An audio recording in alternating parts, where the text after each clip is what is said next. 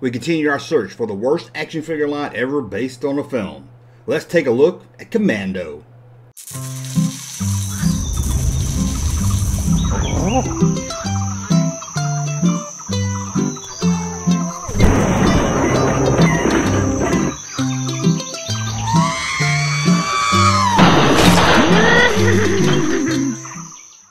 Welcome back to the Junk Room, everybody. It's me, the Junkman, coming back on a Tuesday in our continued search for the worst action figure line based on a film. This is a 10 episode search while we try to find the worst action figure line based on a film. I think I said that already. And this is episode 9. We're one away. Now, this isn't a top 10 list saying that the last video is going to be the worst. What we're going to do is going to rank all these figures, take a look at these 10 figures. Then I'm going to get you guys to vote for your worst, and then we'll come back with a recap show and talk about some action figures that didn't make the list but maybe should have, and let everyone out there know what you guys voted as the worst action figure line based on a film. Now, let's go back to 1985.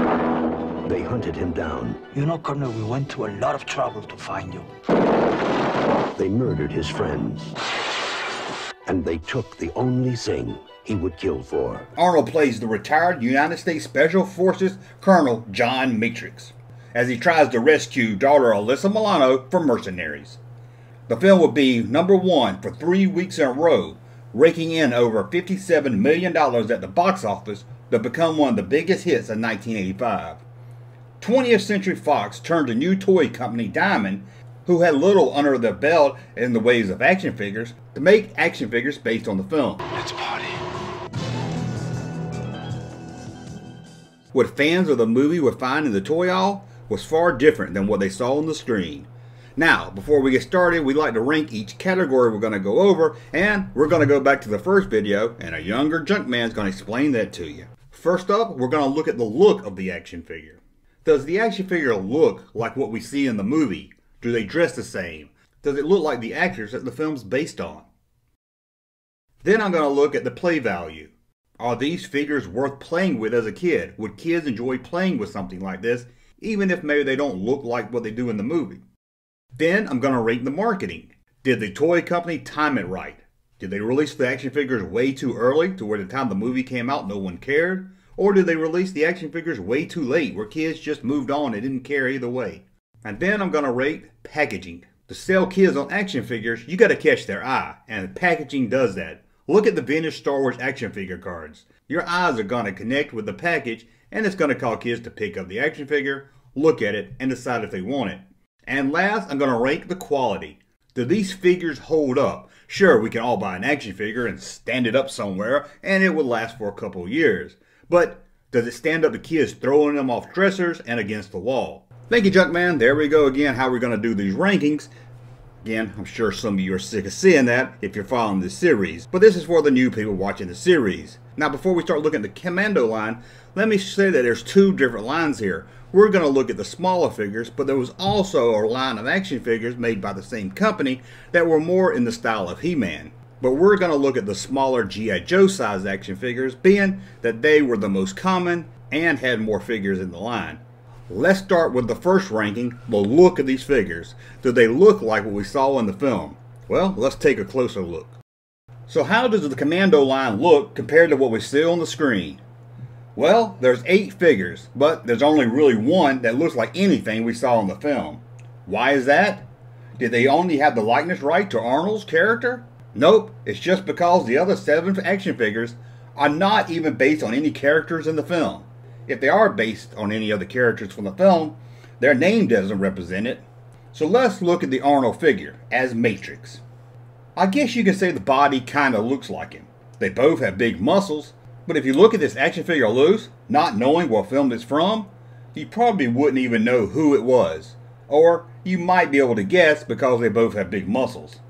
But what about the look overall of the action figure line? Well, the mold and paint is good. Nothing bad, but nothing great.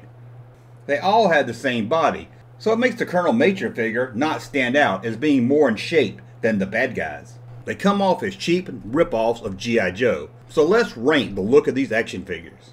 On the 5-star scale, the look of the Commando action figure line gets a 2 out of 5 stars.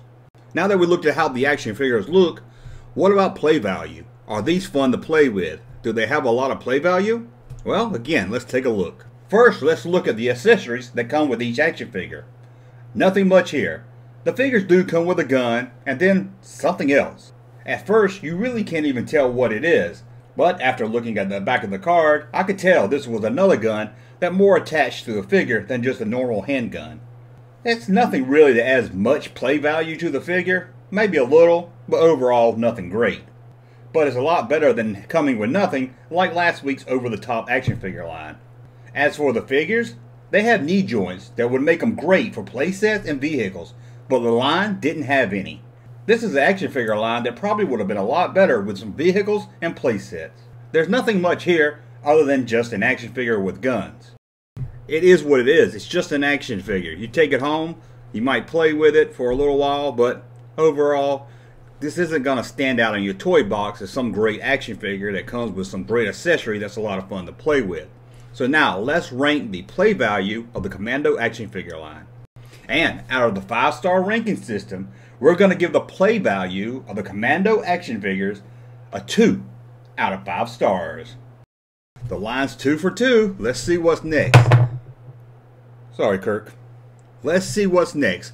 Let's talk about the packaging. Does it catch the kids' eyes in stores? If you're walking down the aisle of the toy store, would you notice the package and ask your parents to buy you an action figure of Commando? If you were a fan of the movie, would you know there were action figures based on the line? So let's look at the card. The title is big and bold. Always a good thing to see. If you saw the movie, you would notice this at the toy store for sure. The drawing of Colonel Matrix with the explosion behind him is eye-catching. The card art is nicely done.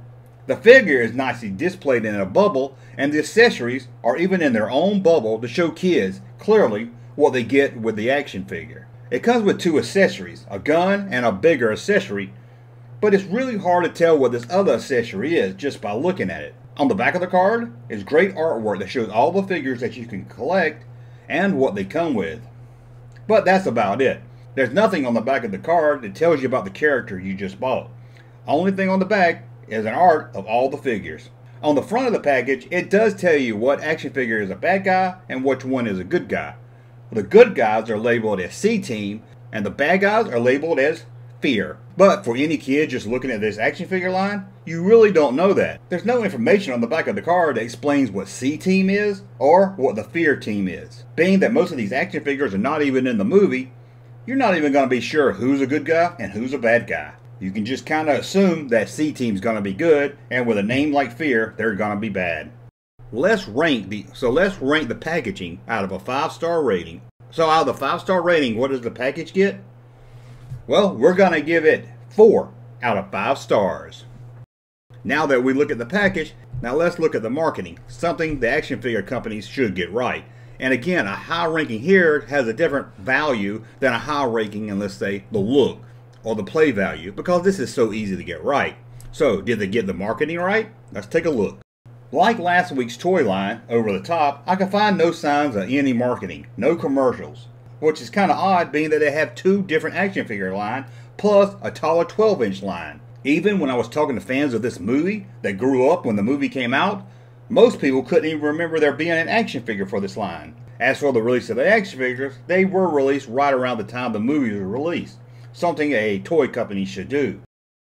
So they released it right, but I'm going to have to kind of guess that being that most people don't even know about this line, that most stores didn't even order it. So it wasn't a really big push to get the line out there. And you think being one of the top movies of the year, being released right around Christmas time, that it would have a bigger push in the action figure line. But I'm guessing since this was a new company, they kind of just produced what they could and threw it out there. So let's rank the marketing of the Commando line. Out of the five star ranking, we're going to give the marketing of Commando 4 out of 5 stars. The biggest issue here is the lack of promotion, something we saw with the over the top line. There really doesn't seem to be any promotion for this other than just throwing it out there and hoping kids saw the movie and will see the toys at the store and buy it. So now we got the marketing out of the way, let's look at another one that hopefully toy companies get right, and that's the quality action figure. Can they fall over like Captain Kirk and not break? Well, let's take a look. Honestly, from what I can find out about these action figures, they hold up pretty well. The action figure's joints, especially at the knees, are known to get loose over time. But that's really just rare and tear. Nothing really bad here. The figure seems to hold up with a lot of play and throwing around. So let's rank the quality of these action figures. So the ranking of the quality of the Commando action figure line gives a 4 out of 5. Now the line's getting better as you can see here with some higher numbers. But again, it's getting high numbers where the value doesn't count as much because it's so easy to get right. Now that we looked at all the categories, let's give it a final score. It's really hard to say that this action figure line is even based on the film when they only have one character of the film in the line. Other than that one action figure and the title, the rest is just a cheap, nameless action figure line. And that's what hurts this line the most. The play value could have been better and had better accessories. And again, if this line has some vehicles to play with, it could have helped a lot. The package does have great art and shows the figure very well. Some information on the back of the card about the action figures would have been a nice touch. And definitely it needed some information to tell you more about the C Team or the Fear Team. The marketing hit right, but lacked any real promotion. There was no commercials, and most fans of the movie didn't even seem to remember a toy line being made. And the quality seems to stand up as well as most figure of that time period.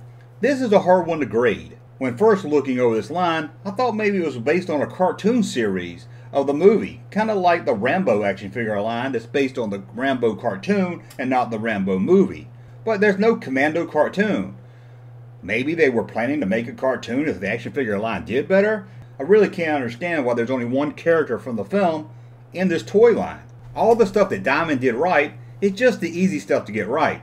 The marketing, the quality, the package. But it's really lacking in play value and again, characters that we saw on the big screen moving over to the toy room. But again, what really hurts this toy line is the lack of characters from the movie.